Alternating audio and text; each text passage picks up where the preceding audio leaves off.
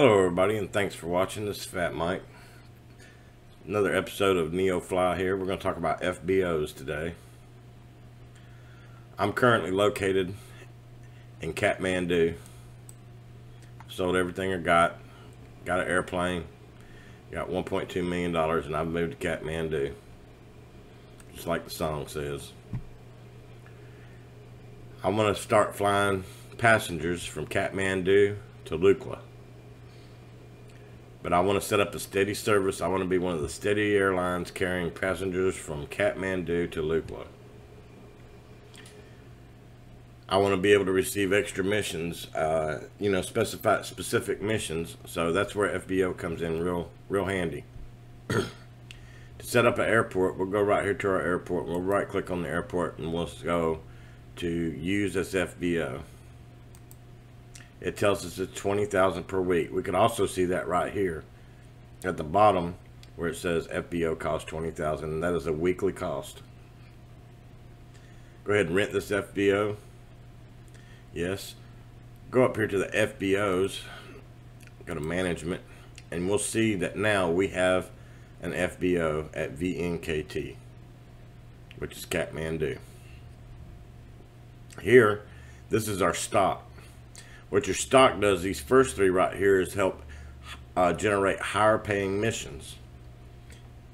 This is not a static item. Every time it generates a mission that is a deluxe mission, for passengers. You got deluxe passenger, you got deluxe VIP, and you got deluxe airline. For deluxe passengers, you got to have magazines in stock. For deluxe VIP, you got to have caviar in stock. And for deluxe airline, you got to have whiskey in stock because nothing goes better than whiskeys, mountains, and rude passengers. And then here, we got mechanical parts and what this allows us to do is instead of paying for airframe repair if we have mechanical parts we can just repair it with these parts that are in stock and already have them there these icons here give away information of the runway uh, longest length width the altitude of the runway how much the rents cost and so forth all right now we currently do not have any missions coming out of Kathmandu. So we have got to create lines. and right here we can see a line. We got our FBO departure and there's a drop down list because you can have more than one FBO. And you select the FBO that you want to leave from. Your ICAO arrival. Now we don't see Kathmandu on here.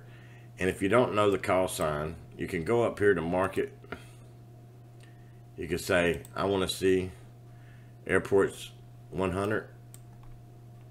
And right here, VNLK. If you scroll in, you will see that is Lukla. We'll right click on that. Or we don't have to right click on that. We'll go back here to flying or to FBO. Go back to management. And we want to use VNLK. All right. Mission type. You can choose passenger, VIP, express, sensitive, airline, or cargo. So we'll just set up a passenger line. Max passengers. I'm going to give you a little tip here. My aircraft is capable of carrying 14 passengers that does not mean that I have to make this 14 passengers. If I make this 14 passengers, I might only be able to, I will only be able to take one mission. So what I tend to do is make it around five passengers per flight. That way I can stack my flights. Now your your other pilots, your your your staff and crew, I recommend you use them more for uh, flying market missions and making that big money that you make real quick like to begin with uh, to help you build up buy more planes. And you can add this isn't the only line you have to create. You can add you can create lines for 14 passengers. This is just one line. I'll show you what I'm talking about So max passengers five, max weight. We don't have to worry about that. And the price. Now we can go here and click estimated price. The estimated price is five thousand eight hundred thirty dollars to fly from Kathmandu to Lukla. I don't have to use that price. I could put ten thousand dollars in there, but nobody's going to buy the tickets. So I tend to go about a thousand over that price, and we'll just say sixty five hundred. And the max number of missions that it wants us to generate for this. This is this is uh this is it has a lot to do with your stock now. Every time it generates one particular mission and it turns out to be deluxe, it'll use one of your stock. But for regular missions, it won't use any of your stock. So I'm gonna say, hey, generate three of those. Okay? And then we'll click here to add new line. All right. So there's our new line. Now, we could go over here. We need to get us a dispatcher. Now, your dispatcher offers bonuses to certain things. Of course, the highest paid one on has a few uh, price bonus, uh, bonus to the mission payout, uh, bonus uh, mission prices increase, how much you get paid. Uh, the deluxe stock uh, uses less of it and it uses less parts. Emma, and if you'll notice, all of their names in the name. I heard another guy talk about that. So let's say I want to hire Emma. So I go right here and I click on send Emma to VNKT and then click this button. And Emma is hired for 1200 per week. She is also weekly paid. All right. Now, I go back to missions. And go over here to VNKT Say refresh. No missions. There we go. Refresh. All right, so now we've got three missions. Three, four, and four. So that's actually, that's just 11 people. We could fly all three of those and make 14,000, 15,000 off of one trip. That's how that works. But once we get there, how are we going to be sure we got a mission coming back? Because chances are we're not. So to, to, to, to, to get a mission coming back, we can also go over here to Lukla and set up another FBO. 15,000 per week. So we're in it for 35,000 a week, which we can make. We just realized we can make 50, over 15,000 on one flight. So it's not to make, make two or three flights a week and you got the cost of all this covered. All right, especially if you've got other pilots flying for you, because we could also go in here and we could say, you know, if we have another pilot flying for us, we could do the same thing. We can go VNKT to VNLK passenger mass, mass passengers. Let's say you got another 208, 14 passengers. Estimated price 5,830, and just say 6,500. Generate two of them. And there we go. We've got a new line mission added. So we go back to our missions, refresh.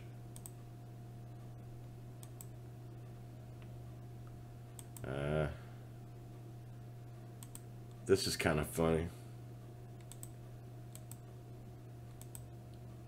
It should be bringing up more missions, but right now it's only bringing up two missions. This is still kind of funny right here how the generate missions are working. So,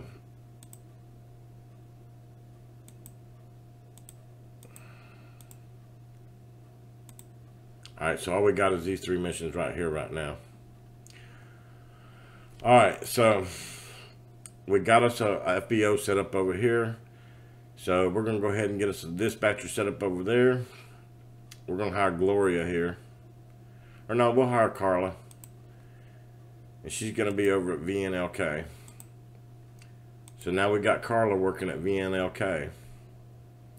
Now, we can have a flight returning from VNLK also. And to do that, we do just do the opposite. VNKT, passengers, me just say four, Or we'll do five. 60, we'll do 6,500 again. We'll say generate three of them. All right, now we got a line coming back from Lukla to there. Okay. Now the only reason I would do the 14 is if you were going to have your uh, have your crew fly those, but right now as it stands, crew cannot fly uh, stack missions. So I generally don't have them fly stack missions. I have them fly materials. Uh, materials regenerate every 72 hours. I didn't know that before in my other video about doing uh, the trading market, but I, uh, I, I, I, found some information on it. It's 72 hours. Every 72 hours they regenerate, so you could work them around that. Now, let's talk about stock. All right, so at VNKT, we want to put some stock in here. So we can go to the local market. That's This is one way we can do it. We can go to the local market. And uh, we can say, okay, there's some caviar here. There's some parts. We, we get some parts. All right. We'll go ahead and buy these parts. And we say, buy it to the warehouse. Okay. All right. Then once it's in the warehouse, or you could even buy it to your plane. Because if you go somewhere out to get parts, you're still going to buy it to your plane. Uh, we'll go ahead and send these parts, select them all, and send them to our FBO. Alright, so now at VNKT, you see we have 793 repair parts. Now let's say those parts wasn't here. I could have found where those parts are. I could have looked over here, said, hey, I'm looking for something in particular, and preview the market. Bring the market up. Hey, look, there's some whiskey. now, I could have one of my pilots or me myself fly to this airport, buy the whiskey, fly back to where my FBO is, and then unload it into my FBO. Same thing, say trading purposes. This is where other trade goods are coming in handy now. So this is this is marketing dash two. So all right, so we got 793 parts here. Uh, I don't know what kind of market they got in Lukla. We can go here again, say preview the market, and they have parts there. We can buy them when we get there and put them in the market. You know, they have whiskey uh, they have, you know, they don't have no magazines. Oh, wait a minute. Yep, magazines. They've got magazines. So we could buy those magazines because I don't think there's magazines here. And we could put half there and bring half of them back with us to our current FBO. So that is how you set up your FBOs. You set up a line and you get to getting these deluxe missions. Like I say, they pay more. I'm not going to go through flying the missions with you. I'm just here to give you a basic idea of how they work, how to set up, a create a line. You know, you can fly to more than just two FBOs. You know, at that point, you probably want to use your AI pilots to fly to other airports to keep those lines going and keep them busy and keep making money. A bug that I found is like, if you decide to stop using an LBO, FBO and you want to get rid of your Emma here, Emma just got fired, okay? But if the FBA goes away, you know, if it goes away on its own because you haven't paid your rent, and you go to fire one of these, it won't fire them. It's just a bug. Uh, there is uh, Kiwi Mace. Uh, he's another YouTuber that makes NeoFly tutorials. He did a tutorial on accessing the database of the uh, of the of the NeoFly and how you can go in and delete that manually.